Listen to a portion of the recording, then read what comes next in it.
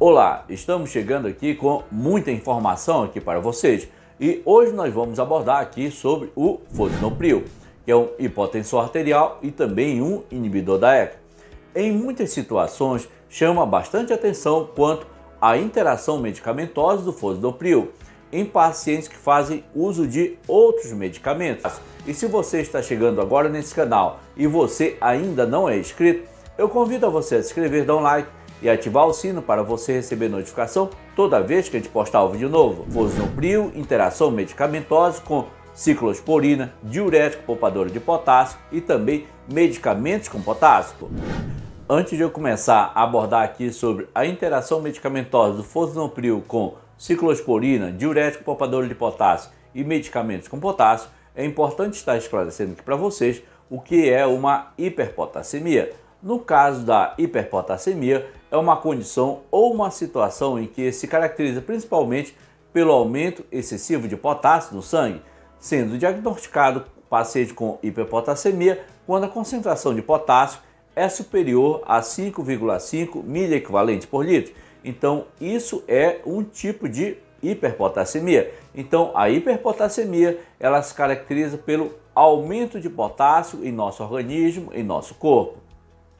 Quanto à interação medicamentosa do fosinopril com ciclosporina, inicialmente vou ter que falar para vocês o que é uma ciclosporina. No caso da ciclosporina, é uma droga imunossupressora da classe dos inibidores da calcineurina. A principal função da ciclosporina é controlar o sistema de defesa do nosso organismo ou do nosso corpo. A ciclosporina previne assim a rejeição de órgãos transplantados, bloqueando o desenvolvimento de células especiais que normalmente atacariam o tecido transplantado. Agora eu vou conseguir falar para vocês sobre a interação medicamentosa do fosinopril com a ciclosporina. No caso dessa interação medicamentosa do fosinopril e ciclosporina, quando acontece a interação desses dois medicamentos, pode vir causar no paciente a hiperpotassemia. Mas o que é hiperpotassemia, enfermeiro? Eu falei anteriormente que a hiperpotassemia é quando o potássio está superior a 5,5 miliequivalente por litro em nosso organismo. Então, muito cuidado, não administrar fosinopril quando o paciente está tomando ou está sendo tratado com ciclosporina, porque aí, nesse caso, pode vir a acontecer a hiperpotassemia.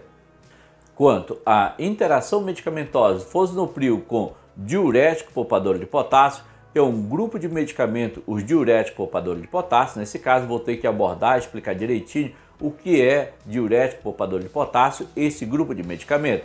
No caso desse grupo de medicamento, que atua principalmente no rins para aumentar o volume e diminuir a concentração de urina, são indicados para tratar, ou seja, são indicados principalmente para o tratamento de hipertensão arterial sistêmica e indicados também para insuficiência cardíaca congestiva.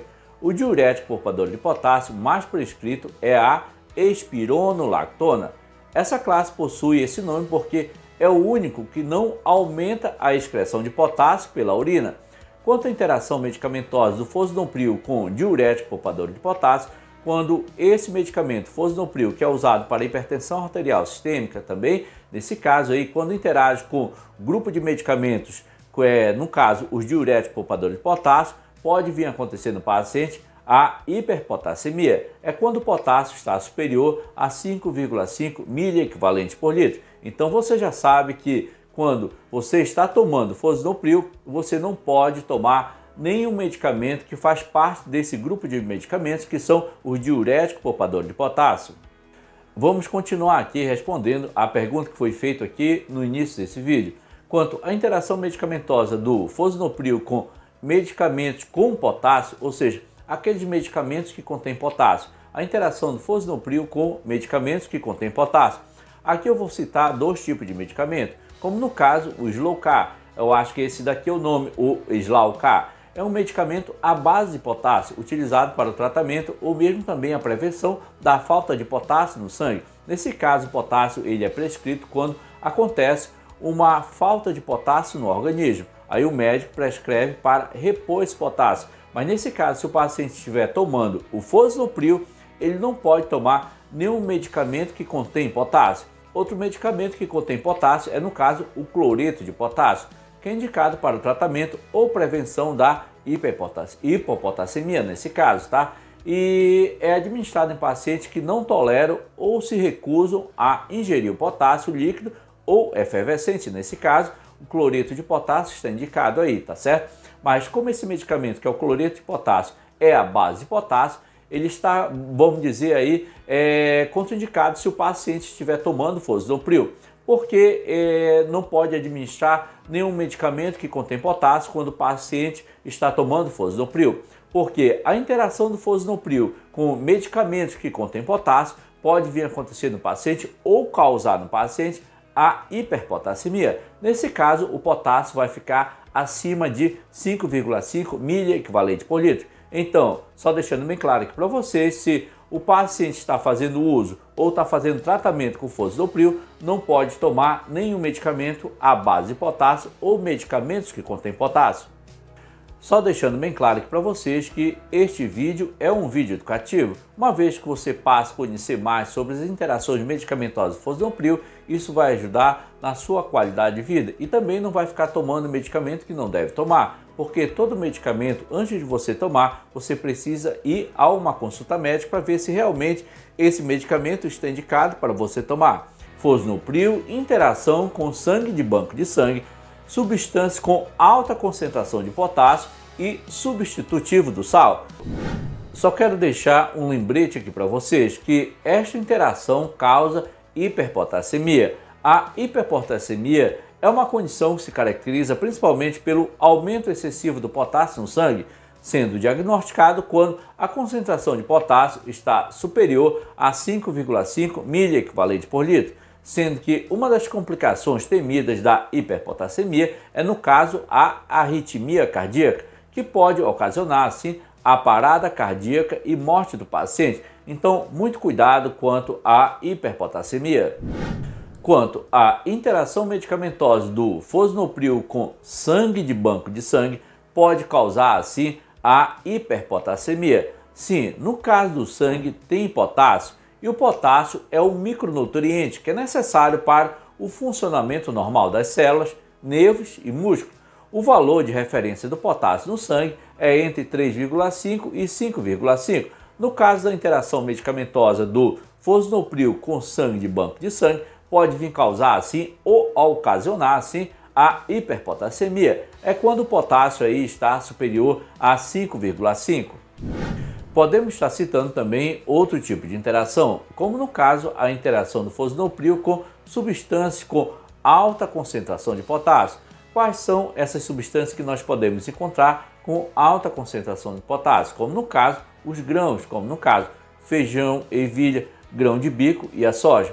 As frutas secas também, como no caso, coco, uva passo, ameixa seca, damasco, podemos encontrar uma alta concentração de potássio posso citar mais ainda aqui para vocês, como no caso as frutas oleaginosas que nós chamamos, como no caso noz, avelã, amendoim, amêndoa e também a castanha, tem alta concentração de potássio, pessoal. O chocolate que você come no supermercado também tem alta concentração de potássio. Além disso, também o café solúvel também tem alta concentração de potássio. Então, a interação de fosinopril com substâncias com alta concentração de potássio pode vir a acontecer a hiperpotassemia. O potássio ele pode se elevar em nosso organismo. Ele pode atingir valores acima de 5,5 milha equivalente por litro. Eu não estou é, querendo dizer para vocês que vocês não devem comer esse, de, esse tipo de fruta e verdura, mas sim só ter o cuidado para não comer em excesso, senão vai desenvolver aí uma hiperpotassemia se você estiver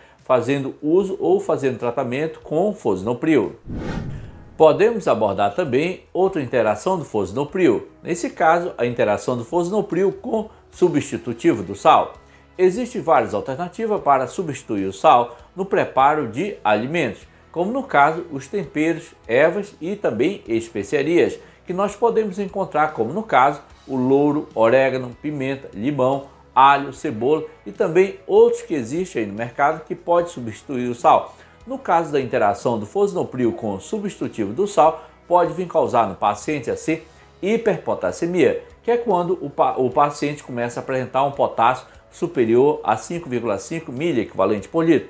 É importante assim você saber que o fosinopril interage também com alimentos, com sangue e também com substitutivo do sal, que pode assim aumentar a concentração do potássio em nosso organismo e o paciente pode vir desenvolver aí a hiperpotassemia, que é muito perigoso para o paciente que pode vir desenvolver a arritmia cardíaca. Fosinopril, interação com depressores da medula óssea.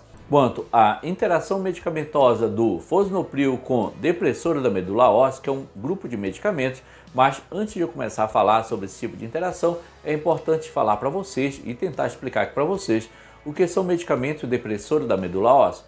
No caso da depressão da medula óssea, também conhecida como mielossupressão, é uma condição que ocorre quando a medula óssea não produz glóbulos vermelhos, brancos, plaquetes em quantidade suficiente pelo nosso corpo ou pelo nosso organismo.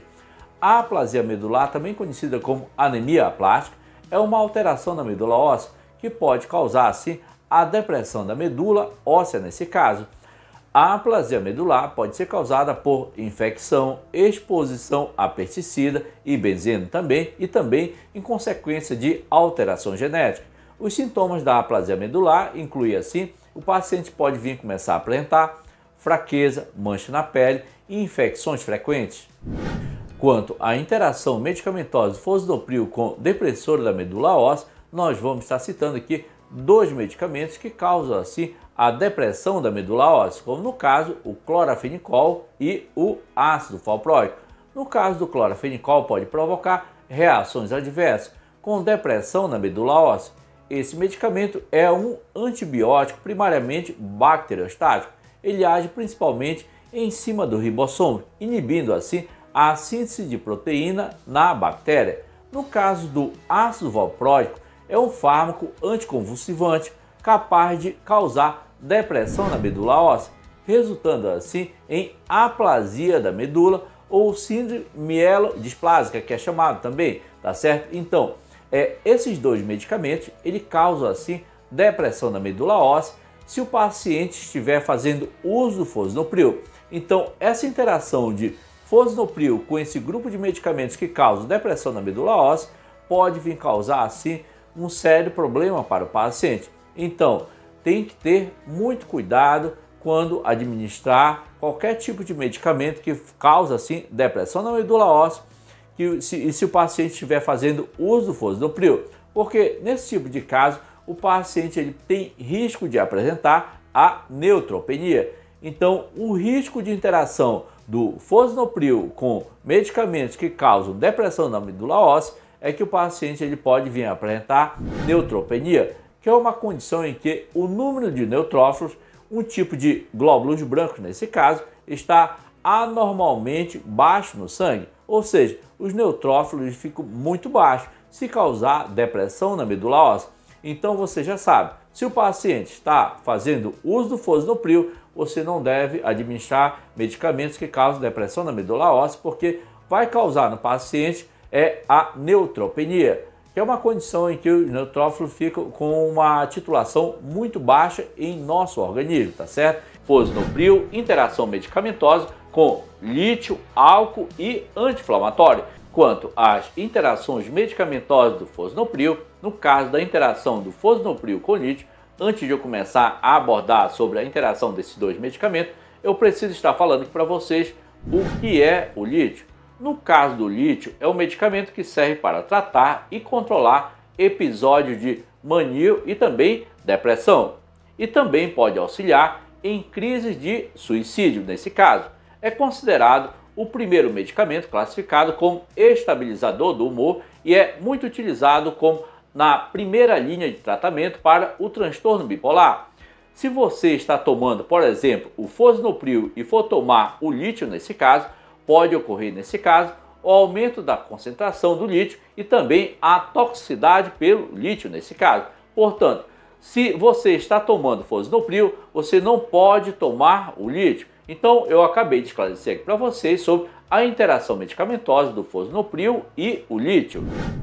Quanto à interação medicamentosa fosinopril e álcool, diurético e outras drogas que causam hipotensão, o que vai acontecer? Nesse caso, eu preciso estar esclarecendo para vocês o efeito do álcool, o efeito diurético e também de outras drogas que causam hipotensão. para depois eu estar abordando sobre a interação do fosinopril com esse medicamento.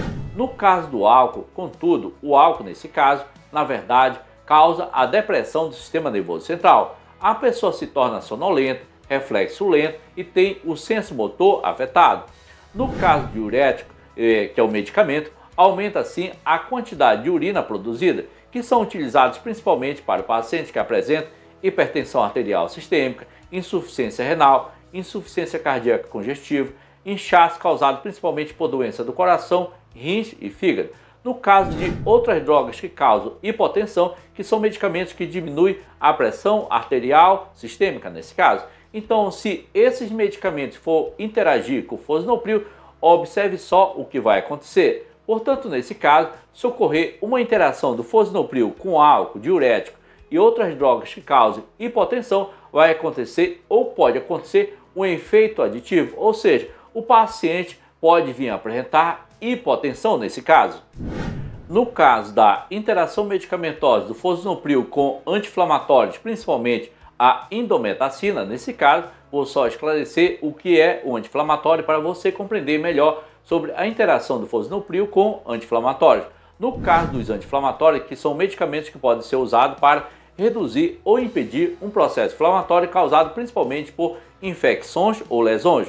Eles agem principalmente para impedir ou diminuir o transporte de células do sistema imunológico para regiões lesionadas, nesse caso. Quanto à interação desse medicamento, portanto, vai acontecer o seguinte: a interação do fosinopril com anti-inflamatórios, principalmente a indometacina, pode vir causar assim a redução do efeito hipotensor do fosinopril, ou seja, o fosinopril deixa de ser eficaz no controle da pressão arterial. Então, se você está tomando fosinopril, você tem que evitar de tomar o anti-inflamatório, principalmente a indometacina nesse caso, porque senão o efeito antipertensivo do fosinopril vai ser afetado. Então, se você está tomando fosinopril, você não pode tomar nem anti-inflamatório e também não pode tomar a indometacina. E se você está chegando agora nesse canal e você ainda não é inscrito, eu convido a você a se inscrever, dar um like e ativar o sino para você receber notificação toda vez que a gente postar um vídeo novo. Estou deixando também aqui na descrição desse vídeo o link da nossa loja, link de afiliado e também o link de um e-book aqui para você. Ficamos por aqui, até o próximo vídeo e fique com Deus.